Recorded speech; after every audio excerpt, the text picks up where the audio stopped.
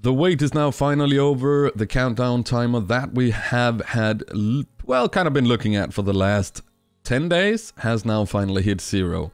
Um, and, and then some. It went down to quite a lot more than that. But that's not important because right now the countdown is over and uh, we finally know what this QR code is about.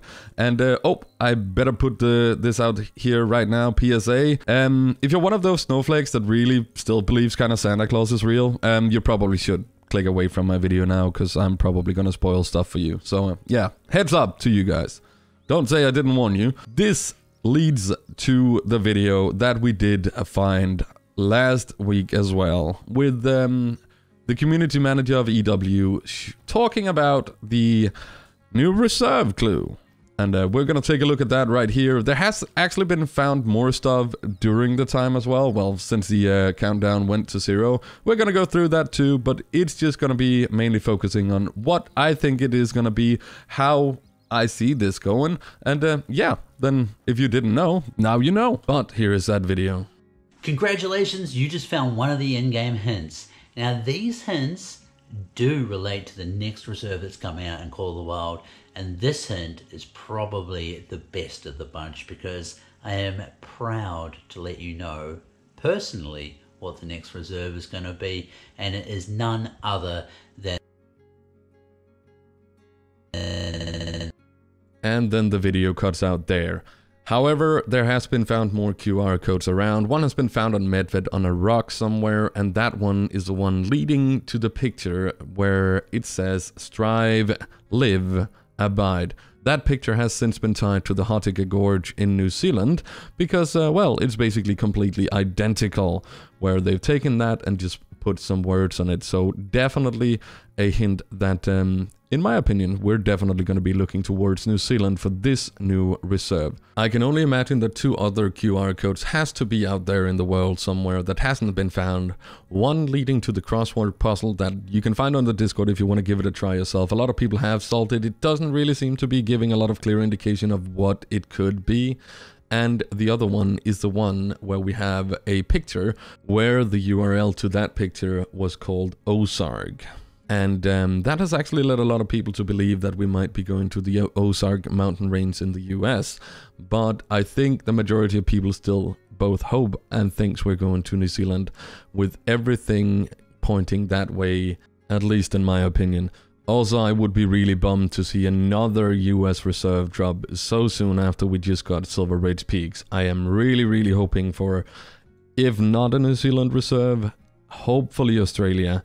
But um, if they're going to do something out of the ordinary and just give us a second African reserve, I'm not going to be complaining about that either. However, three more pictures has actually been found on the website by the community. And this is basically just confirming that we found the clues. It's all it says in the pictures.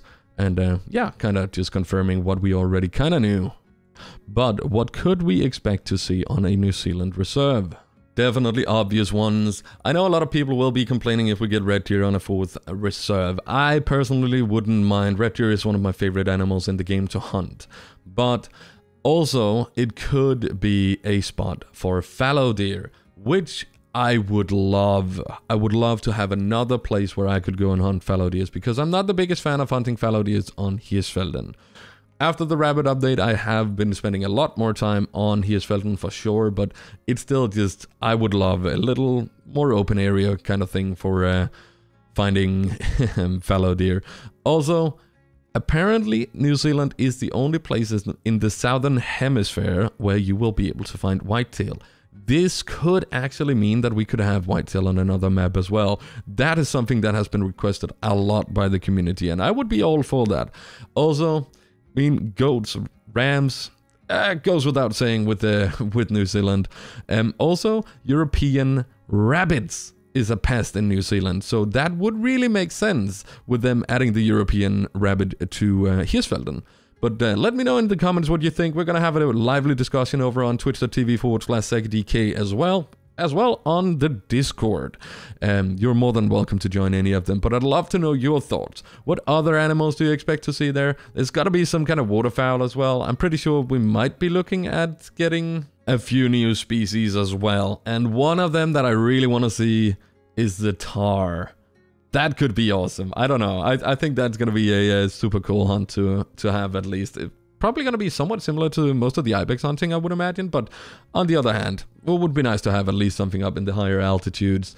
Um, of other new animals, I also think that we potentially could be looking towards maybe some rusa deer, maybe sika deer. That would make sense at least.